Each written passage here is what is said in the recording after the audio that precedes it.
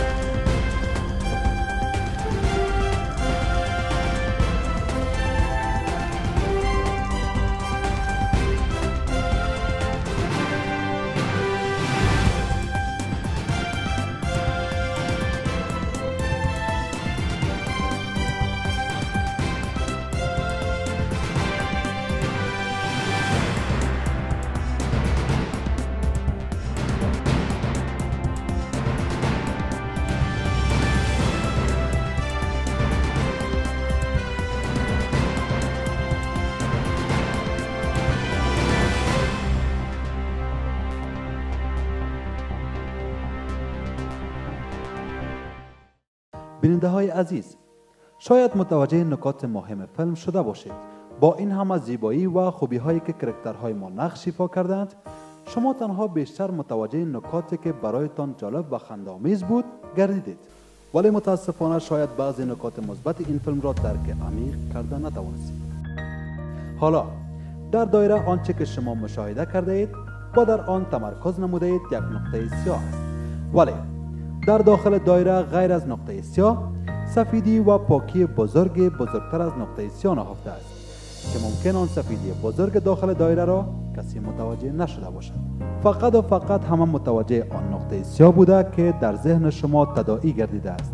در زندگی روزمره و اجتماع کسانی هستند که گاه گاه همیشه متوجه نکات منفی گردیده از حقایق سر باز می‌زنند. ولی برعکس اگر دیده شود کسانی هستند که شب و روز تلاش میورزند در راه پیشرفت ادب فرهنگ و کلتور اصیل افغانی زحمات خستگی ناپذیر را جهت بلند بردن از آن همه هموار ساخته و از خویشتن خلاقیت هنری میآفرینند. بینندگان عزیز پیام کوتاهی از زبان این فیلم داریم که ما و شما از جهات منفی بافی باید دوری گزینیم تا ذهن ما جهت نکات مثبتگرایی آماده شود.